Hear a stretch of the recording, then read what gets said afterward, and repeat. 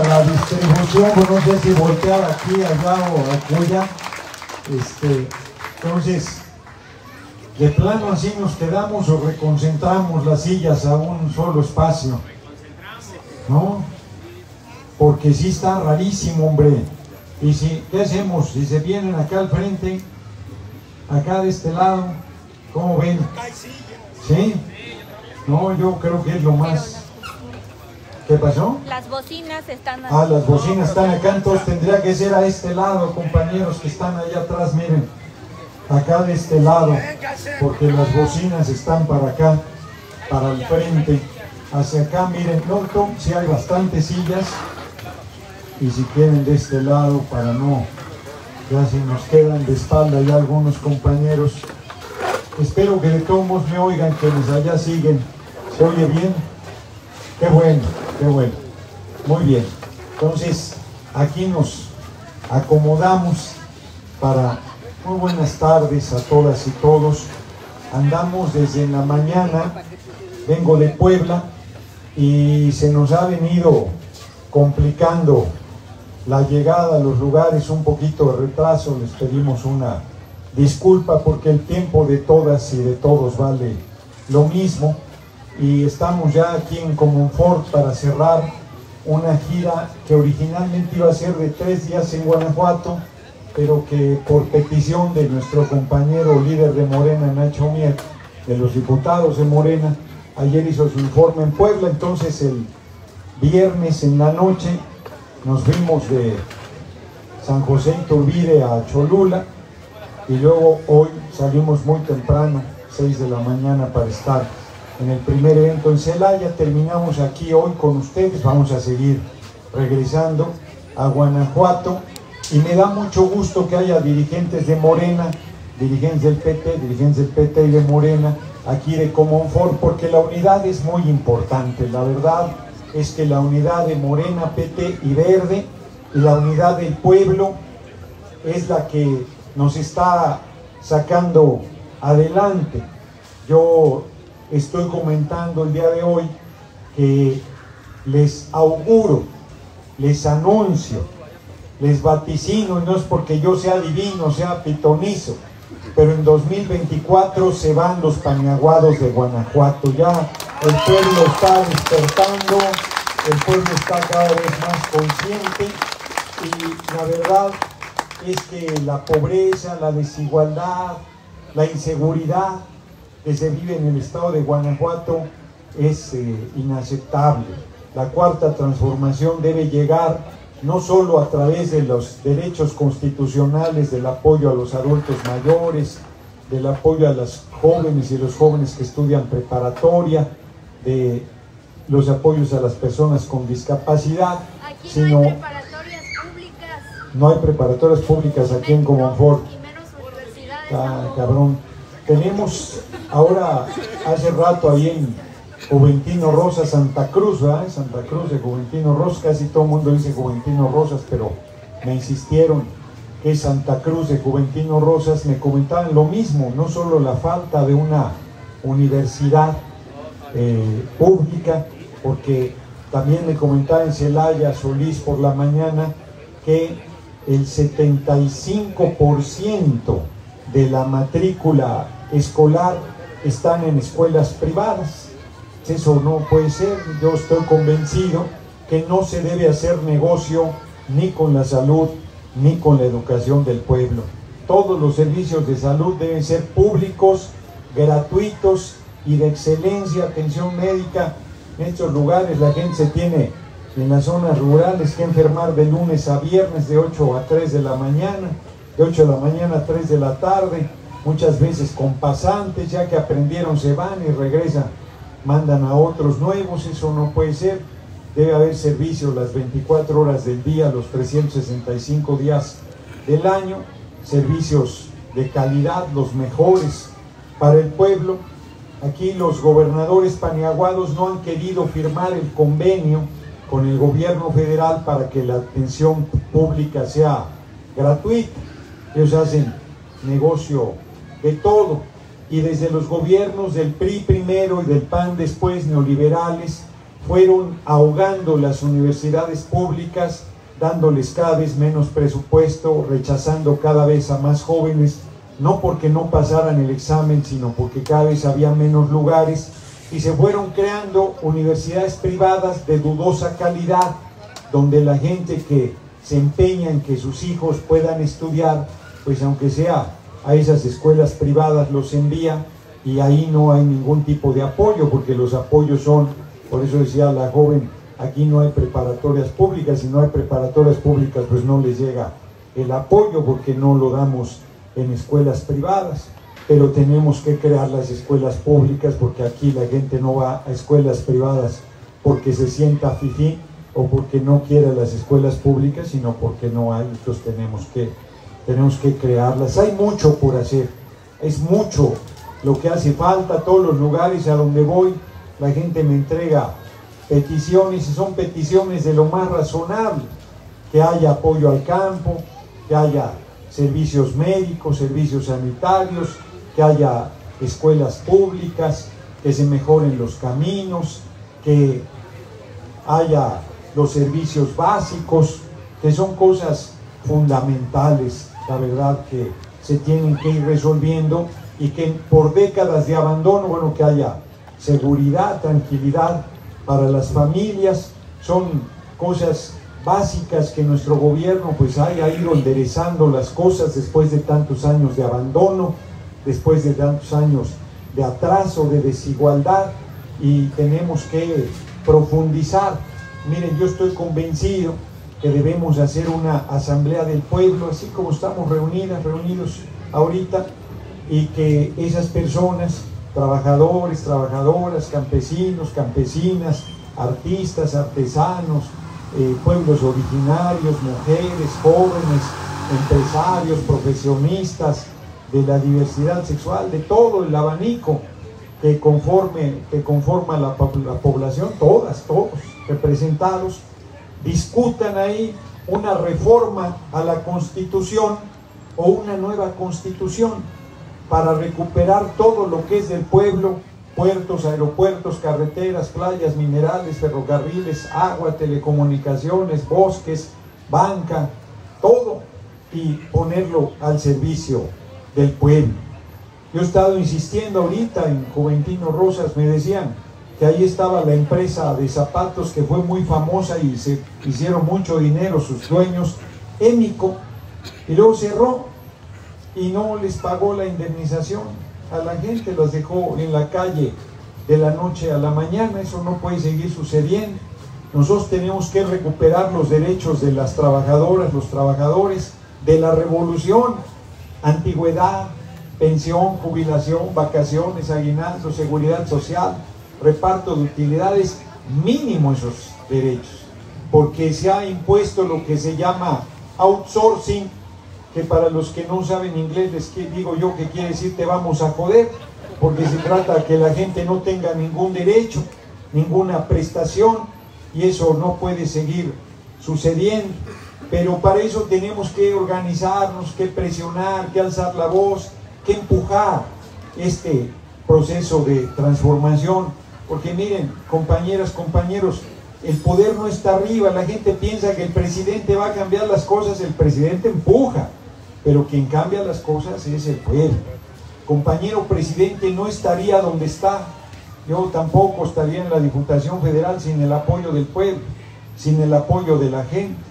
El primero de diciembre de 2018 el compañero presidente dijo en el Zócalo, sin ustedes soy nada o casi nada, no me dejen solo, la oligarquía me haría pedazos.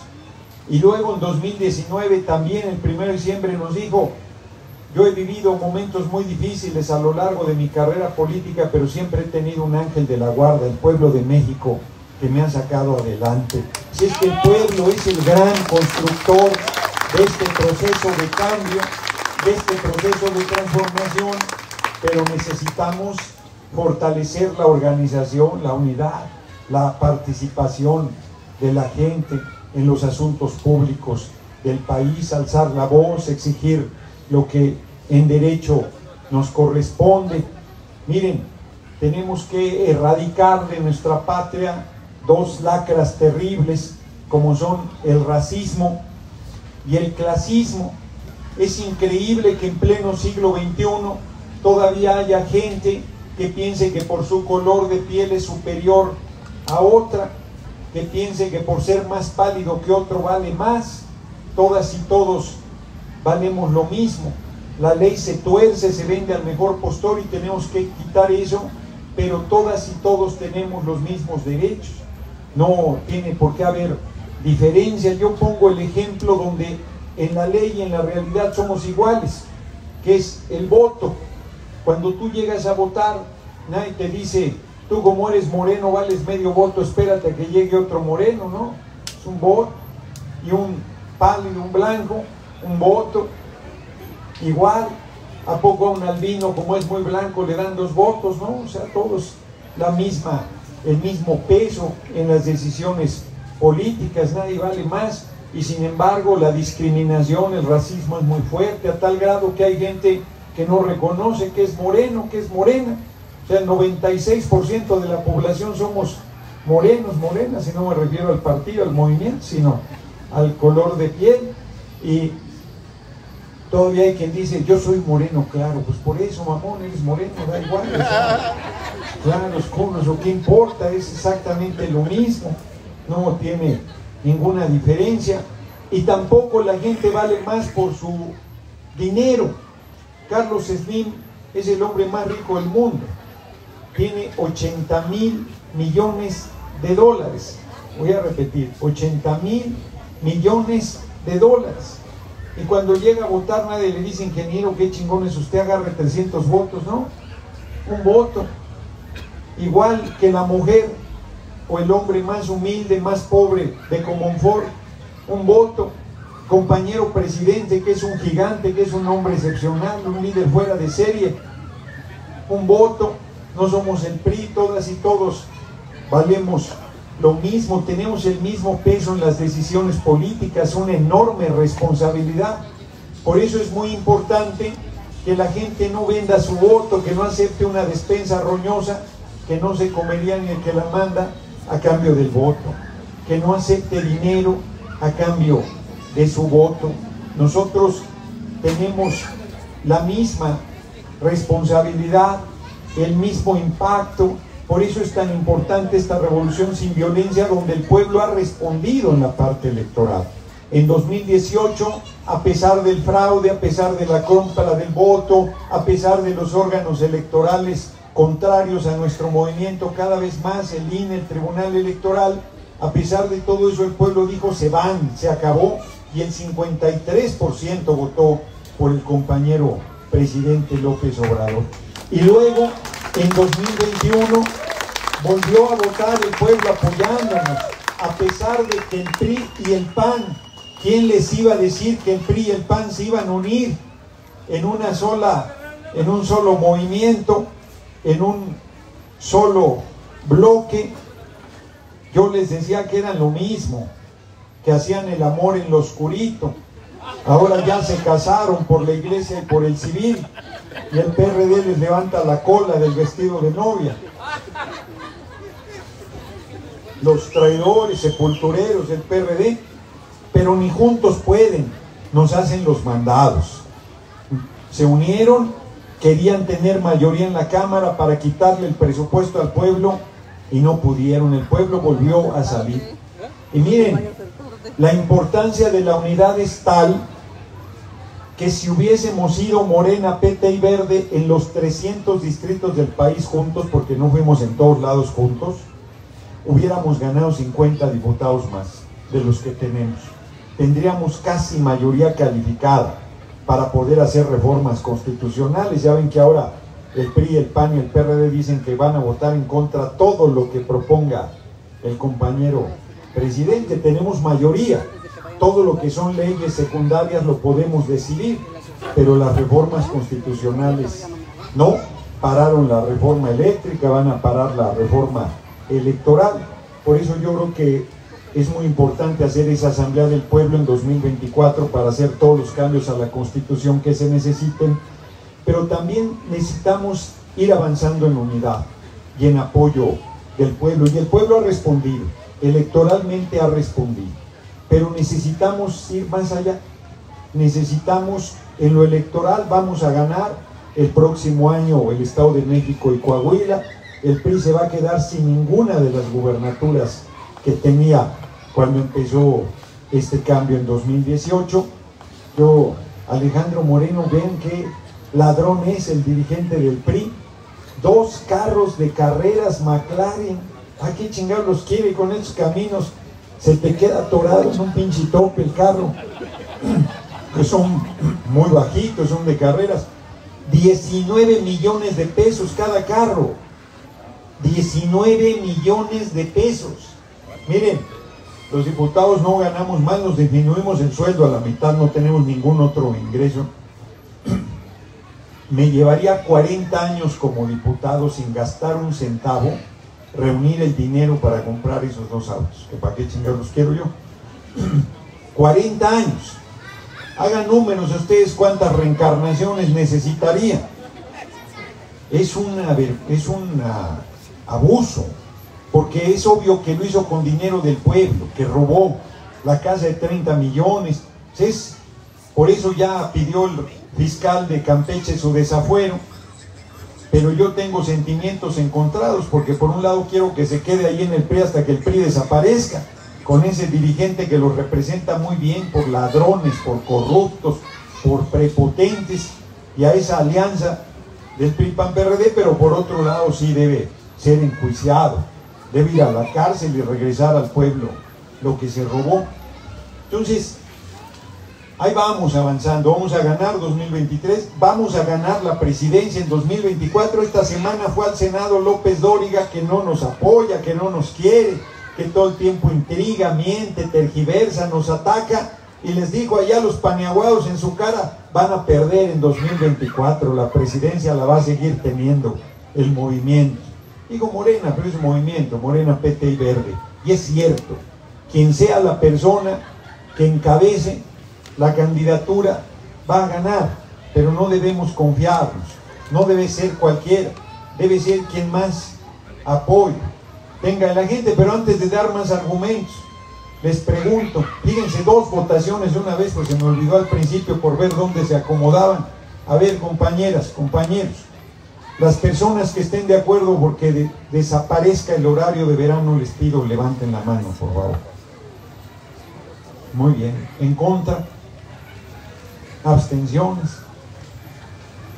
Prácticamente un clamor popular prácticamente es unánime.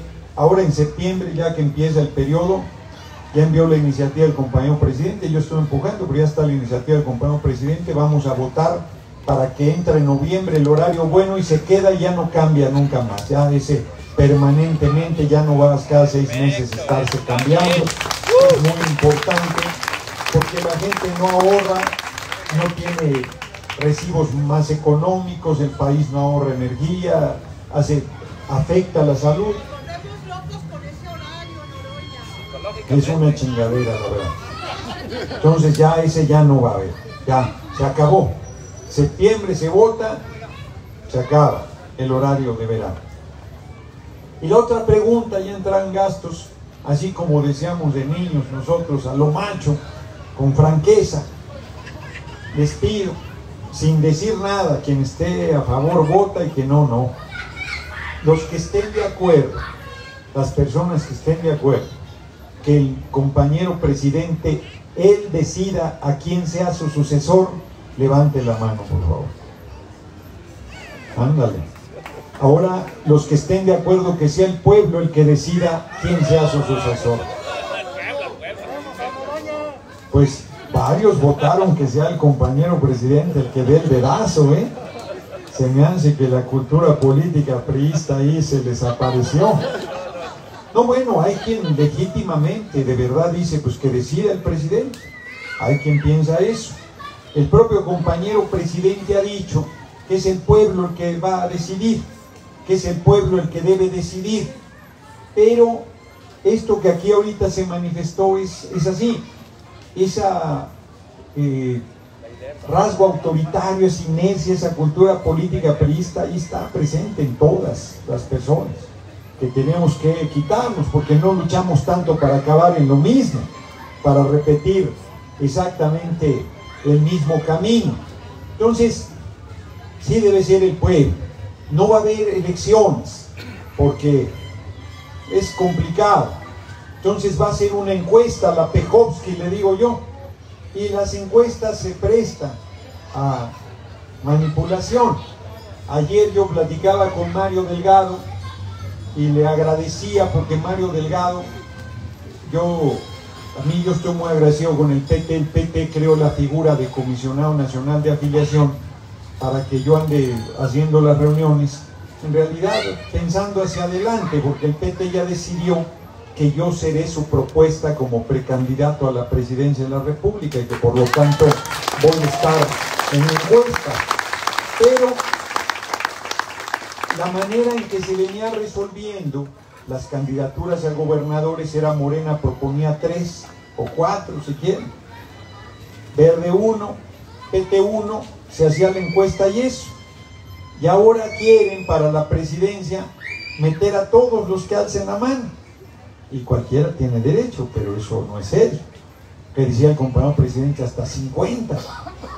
Decía ayer Mario Delgado hasta 30 si Noroña quiere entrar, no le hace. Si el PT nos apoya o no, no le hace. Noroña va a estar en la encuesta. Sí, pero te echan en una licuadora y luego, ay, perdiste, qué lástima, ¿no?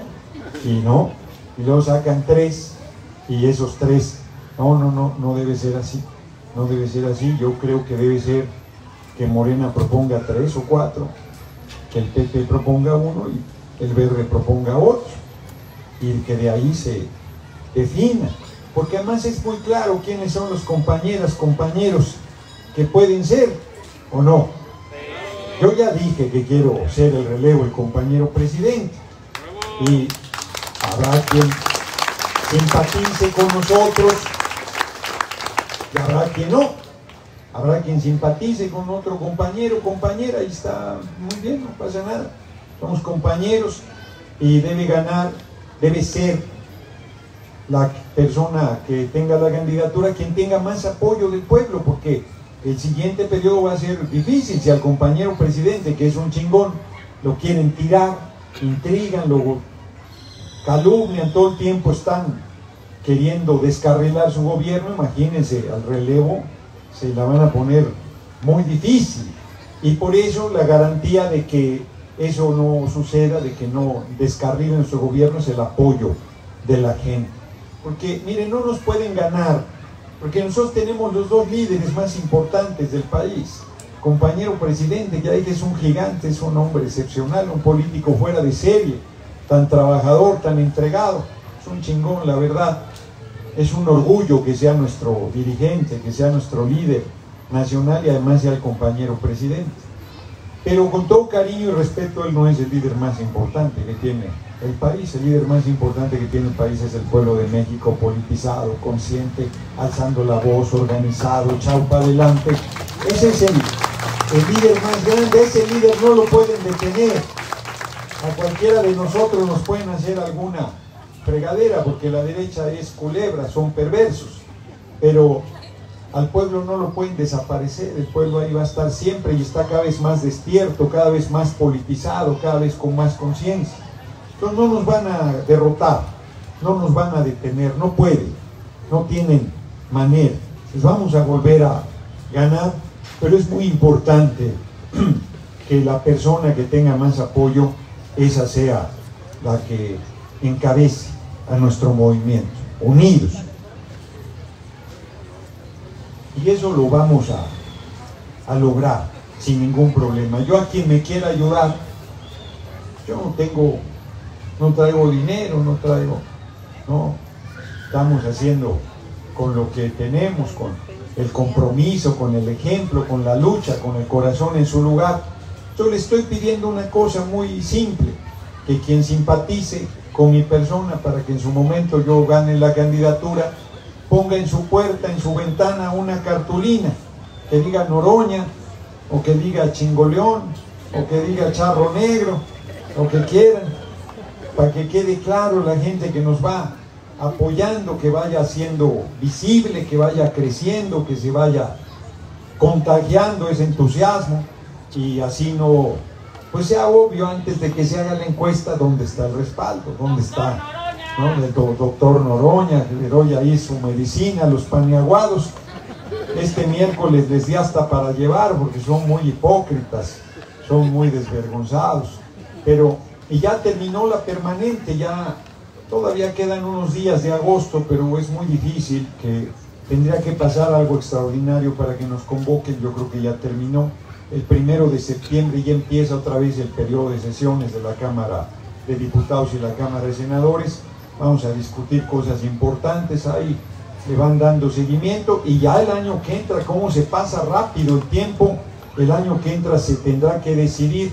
Decía Mario Delgado que en agosto yo le digo que lo discutamos, que entra, que lo discuta con Alberto Anaya, dirigente del PT, con Karen del Verde, y que nos invite también a los que aspiramos, que somos en realidad cinco compañeras. No, yo no soy el que hago la lista, yo no voy a decir quién sí, quién no, pero es evidente quiénes son las compañeras, compañeros que tienen más fuerza como para... Afortunadamente nosotros tenemos mucho, compañeras, compañeros de primera, que como ha dicho el compañero presidente, garantizamos la continuidad. La derecha no tiene nada. Anaya, el canalla, es quien supuestamente más apoyo tiene y anda prófugo de la justicia en Estados Unidos. Ni modo que vaya a ser candidato desde sus videos allá en Estados Unidos. O la senadora María del Carmen Telles, esta ahí anda cerquita de nadie, del PRI, ¿quién? El Junior de la Madrid, ¿quién? Movimiento Paniaguado, dicen que Colosio Riojas. Yo creo que va a hacer su campaña desde un bar en Nueva York, ahí medio acalderonado. ¿no? Hombre, no tienen no tienen quien, están esperando un rompimiento nuestro, por eso la unidad es muy importante, abajo y en todos los niveles, la unidad del movimiento. Yo voy a ser factor de unidad, yo, yo creo que les voy a ganar, la verdad, porque yo ando recorriendo abajo, se burlan, me dicen de carpita en carpita, aquí ni carpita hay, pero así, de carpita en carpita me los voy a, me los voy a caminar, porque estoy en contacto con la gente, en contacto con el pueblo sumando, sumando esfuerzos, sumando voluntades y pidiéndoles que nos, que nos ayuden, que nos ayuden. Además, este, el, PT ya abrió, aquí no veo la pinche mesa, porque les digo me dicen que la afiliación y no veo una pinche mesa yo de afiliación, man. Entonces, este, ya se abrió para que la gente que quiera sumarse, ayudar, este, y estas reuniones como aquí se hizo la presentación, hay compañeros de Morena, compañeros, compañeras, compañeros del PT. Por eso lo hacemos en las plazas públicas. Aquí a poco le andamos preguntando. Es más, luego se acercan gente que está, todavía está en el PRI o en el PAN y dicen, no, no, pero nosotros ya queremos sumarnos. Con ustedes, bienvenidos, bienvenidas todas las personas que quieran luchar por la transformación de este país son bienvenidas. Y un último tema que toco en todos los lugares, se puso complicado en Celaya, no complicado, estuvo bien, se profundizó un poco más, porque dicen que Guanajuato es un estado conservador, yo no creo que sea un estado conservador, más bien hace falta ir discutiendo, haciendo más politización, intercambiando puntos de vista, pero miren, tenemos que erradicar ahí nadie va a estar en desacuerdo. Es obvio que tenemos que erradicar la violencia en contra de las mujeres. No puede seguir habiendo contra nadie y menos contra las mujeres por ser mujeres. Que se les discrimina, se les atropella, se les abusa, se les golpea, se les violenta, se les viola sexualmente, se les asesina por ser mujeres. Eso no puede seguir. Y eso viene desde casa es desde el seno de la familia que esa violencia se genera. La mayor parte de las mujeres, fíjense qué fuerte, la mayor parte de las mujeres son violadas sexualmente en su casa, en su trabajo, en su escuela, en lugares donde se supone que deberían estar seguras. Entonces tenemos mucho que hacer, mucho que trabajar desde la familia y asumir cuáles son los problemas que generan ese fenómeno lamentable, repudiable. Y yo lo ejemplifico, les digo a los compañeros varones, compañeros, ¿quién de nosotros en la mañana se preocupa de cómo va a salir vestido a la calle para no provocar a una mujer, para que no te vaya a acosar sexualmente, para que no te vaya a querer violar, para que no te agarre una nalga, para que no quiera hacerte alguna agresión sexual. ¿Quién de nosotros se preocupa de eso? Nadie, a nosotros nos vale madre, eso no está en nuestra lógica, en nuestras eh, preocupaciones. Es más, alce la mano el compañero varón que haya sufrido una agresión sexual de una mujer en su vida. No que se los madre su mujer, eso es diferente. Que haya sufrido una agresión sexual de, una mujer. Nadie, nadie. Ahora alce la mano la compañera que nunca haya sufrido una agresión sexual en su vida. Nunca. ¿Se dan cuenta, compañeros? No hay, no hay mujer que no haya sufrido una agresión sexual por lo menos en su vida. Desde cosas aparentemente simples como que saludan y no les quieren regresar la mano, ya cabrón, ya, ya acabó.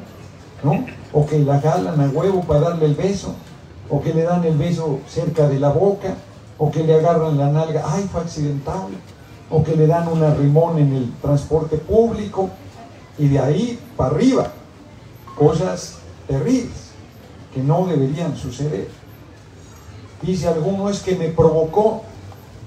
No, no, mi amigo, si una mujer sale desnuda a la calle, nadie tiene derecho a tocarle un cabello si ella no quiere es una relación de mutuo consentimiento, es una relación que debe ser de aceptación de las partes. Es más, tu pareja, tu compañera de vida, tu novia, tu esposa que fuera, si dice no, es no, no es no, se tiene que respetar. Se tiene que respetar la libre sexualidad de las mujeres. Los, las mujeres, igual que los hombres, quieren darle gusto al gusto, pues es un regalo maravilloso la sexualidad. Yo les digo que Ricardo Flores Magón decía que el pueblo tiene derecho a vivir y a ser feliz.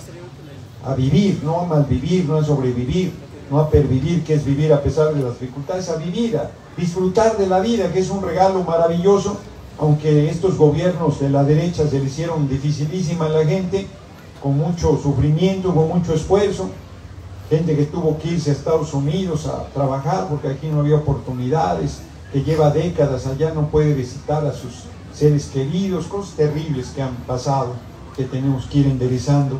Entonces yo les digo de manera obvia, o sea, de manera eh, social, que la gente tenga un techo, que coma tres veces al día, que tenga acceso a educación, que tenga acceso a servicios de salud, que su libertad sea respetada, que tenga acceso a impartición de justicia, el poder judicial totalmente corrompido y como decía mi abuela, lo que sobre para pulque, o como lo digo de manera más coloquial, ver el amanecer, el atardecer, leer un libro. ¿Qué libros va a haber? No hay ni bibliotecas ni librerías en la mayoría de lugares. Venir aquí al jardín a sentarse un rato, a ver, a disfrutar, a platicar ir al cine, ¿qué cine va a haber en Comonfort? No hay ni un pinche cine aquí, ¿no? qué chingados O sea, yo estoy convencido que hay que construir un cine del pueblo en todos los pueblos y comunidades, una escuela, un hospital, un centro cultural, un centro deportivo, una biblioteca, sí, todo el camino, sí, sí, sí, y un cine. ¿Cómo va a haber un cine en los pueblos, en las comunidades? Que la gente tenga derecho al ocio, a divertirse, a, distraerse, a viajar, a ponerse en los zapatos de otra persona a través de, ese, de esa forma de arte. ¿no? Pues tenemos que avanzar hacia allá también. Hacer el amor se los recomiendo ampliamente. Y me dicen, ¿y con quién? No, eso no lo resuelve la cuarta transformación. Eso lo tiene que resolver cada quien. Aunque les digo que estoy pensando en una tarjeta que diga sexo para todos y para todas, por supuesto. Oye, a ver, a ver quién me mata esa oferta electoral. No, sé cómo vamos a cumplir el compromiso, pero está buena la, la, intención.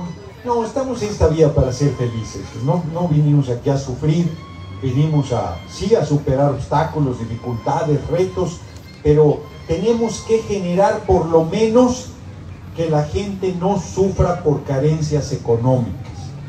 Y entonces las mujeres, igual que los hombres, quieren darle gusto al gusto, tienen derecho a su libre sexualidad, tiene que respetarse su libre sexualidad.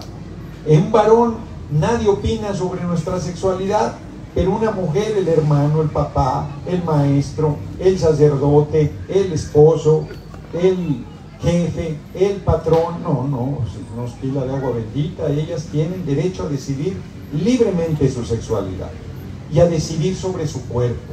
Ay, cabrón, este tema. Y aquí en Guanajuato, en todo el país, a decidir sobre su cuerpo. Miren, no es que nosotros estemos promoviendo nada.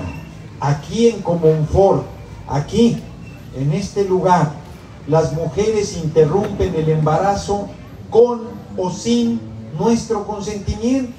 Lo interrumpen y ponen en peligro su libertad, su salud y su vida. Y eso no debe ser, porque, miren, a mí, varón, nadie me obliga a ser padre, no puede. Si yo no quiero, no hay manera. Lo más que pueden sacar, se dan a la fuga, se embarazó sola, milagro, la Virgen. No, tú embarazaste a la mujer. Se dan a la fuga, lo más que pueden sacar es la pensión. Y si es culebra ni eso, las mujeres se quedan con la responsabilidad. Y entonces, eso no es correcto. Entonces yo les digo a los compañeros que me dicen que no están de acuerdo en que una mujer interrumpa el embarazo, pues no embarace a nadie, compañero, y asunto solucionado.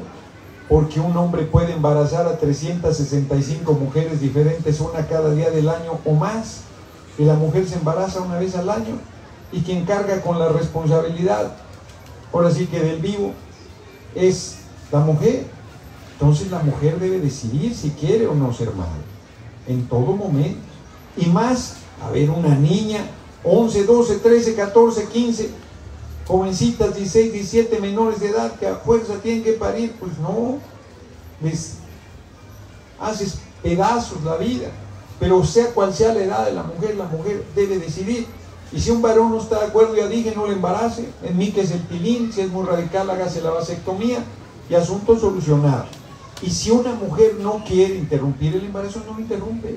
A nadie se le va a obligar, solo respetar, porque, hombre, aquí inclusive mujeres que tienen un aborto no provocado, el Ministerio Público dice que se lo provocó y las meten a la cárcel.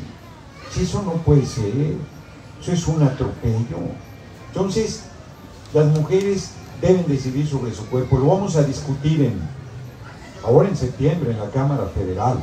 Y nos van a acusar de todo y más y no tienen razón, porque nosotros lo único que queremos es condiciones de igualdad y que las mujeres no sigan siendo obligadas a ser madres cuando no lo planearon, cuando no están preparadas, cuando no tienen condiciones, cuando no están decididas, cuando no buscaban embarazarse.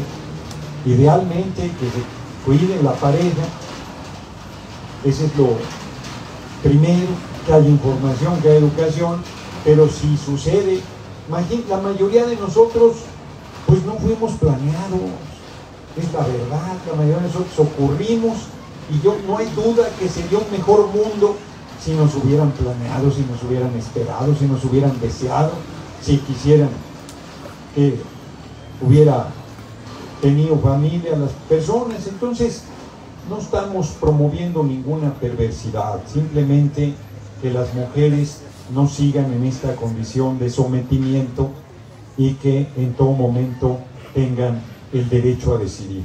Y a nadie van a obligar en un sentido diferente. Entonces, se da ya una compañera, compañera, eh, no era paneaguada ni nada. Se plantó muy firme diciendo que no está de acuerdo y ya estaba tensando la asamblea. No, que se exprese, o sea, todo el mundo vamos a aquí, ya también había el micrófono. Les pido nada más que no agarremos monte, porque yo a las seis, ya ven que todos los días a las seis transmito en YouTube y en Facebook. Voy a transmitir desde aquí, desde Comunfor. No sé todavía de qué lugar, no me han dicho los compañeros, pero aquí voy a transmitir. Y luego, este, no sé, ahorita es una discusión ese ahí con mi compañera de vida, hombre.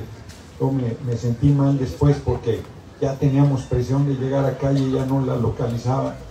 Y este, pero tampoco es para, para andarse enojando yo que tengo el genio de los mil demonios de repente. Entonces ya me sentí mal, pero bueno. Este 2024 yo quiero ser el relevo del compañero presidente López Obrador. Eso, en eso estamos firmes. Y yo espero que este pues que me apoyen. Y si, esa, esa me gusta, de AMLO presidente Noroña el siguiente, para que no, no se sienta nadie. Entonces, ya vamos a ir, ahí vamos a ir avanzando. Y si aquí hay compañeros que apoyan a otros aspirantes, todo mi respeto y mi consideración. Porque no, no, no, o sea, ahí yo estoy en contra de que se intrigue, de que se mienta, de que se hagan campañas sucias contra quien sea y menos entre compañeros. Entre compañeros debe haber, va a ser dura, va a ser dura la contienda porque es una responsabilidad muy grande, es una responsabilidad muy importante y no va a estar sencillo, pero yo creo que vamos a, a salir en unidad y que vamos a, a resolver bien. Vamos a abrir el micrófono para, ya hay dos compañeras que quieren hacer uso de la palabra. Nomás les pido, se vale comentario, si hay preguntas también, yo los escucho cinco y a los cinco respondo si alguien me toca el nervio antes o si creo importante hacer una aclaración la hago y no les he dado mi número telefónico, se los doy, de veras me da miedo porque les digo, no es para socializar, ¿cómo estás? Bien, cabrón, cuando estén mal te vas a enterar antes. Este, a ver, platícame, no, no, que te voy a platicar, pues a las seis platico, ahí estoy diciendo cómo veo las cosas y tal. Este, o luego hay gente que no cree que es mi número y entonces me habla para ver si es mi número. Es que quería ver si este número, no, es el del vecino, cabrón, pero estoy contestando hoy. Entonces, si es mi número, ahorita que se lo den, no lo marquen para guardarlo, lo pueden guardar sin marcarlo, porque como estoy aquí con ustedes, no estoy contestando y luego ya en la carretera voy regresando las llamadas. Entonces, ahí les va el número, algo que se atore y yo pueda ayudar con mucho gusto y si no puedo también ya ven que son muy claridosos, también se los digo con mucha franqueza. Ahí va, ¿listas? ¿Listos? 55 35 25 83 99 lo voy a repetir 55 35 25 83 99 55 35 25 83 99. Está muy fácil. Entonces ahí estoy a la orden. No me manden WhatsApp, me vuelve loco, no los alcanzo a ver. No veo videos, no veo fotos. No vayan a mandar una diputada del PRI, me meta yo en problemas. No les había dicho, creo. Yo soy ateo, no creo en ningún ser sobrenatural, así es que no me manden cadenas de oración. Nada, nada, nada. Yo, no, este, me hablan.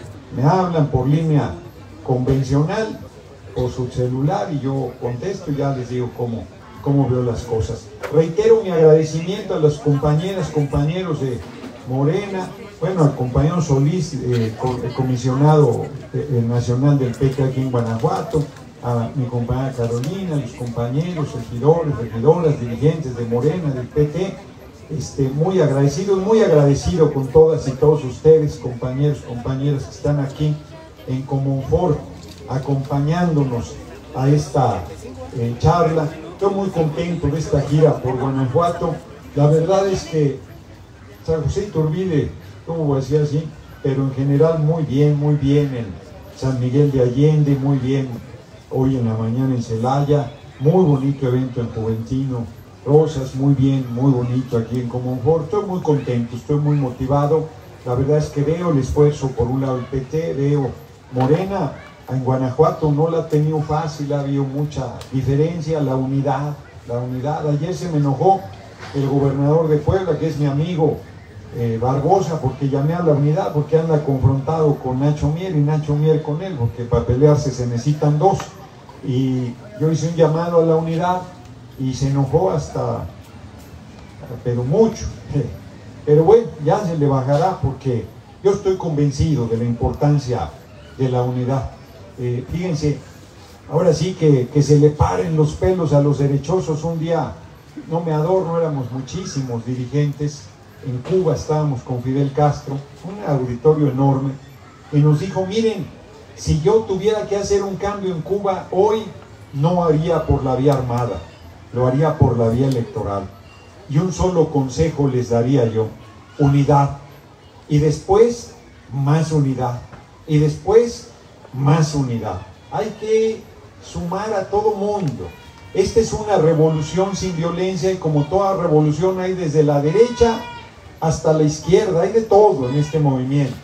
Y no vale descalificar a nadie, lo que hay que hacer es ganar con el trabajo, ganar con el convencimiento, ganar con el ejemplo, demostrar una mayor capacidad de organización y de lucha para salir adelante lo más pronto posible de esta pesadilla en que los gobiernos neoliberales nos instalaron. Así es que compañeras, compañeros, estoy muy, muy contento de estar aquí con todas y todos ustedes. Vamos a, ya están las dos compañeras, una, dos, ¿quién más alzó la mano?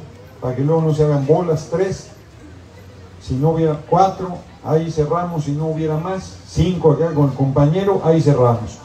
No agarren monte para que podamos, este, porque además al final, este, yo estoy muy contento, pero es este, de locura, porque al final aquí han sido muy ordenados en Guanajuato y quienes quieren foto hacen la fila y todo, ahí me he hecho un rato en las fotos, en los saludos y todo, y recibo que me quiere entregar un documento, todo ha sido un, realmente un muy buen recorrido. Entonces, yo les pido que no nos tardemos mucho en esta parte para poder cerrar, atender a los que se van acercando y luego ir a mi transmisión de las 6 de la tarde. Y muchísimas gracias de verdad de corazón de que esta tarde domingo que podrían estar dándole gusto al gusto, haciendo otra cosa descansando simplemente, se hayan dado cita aquí con nosotros en la plaza pública.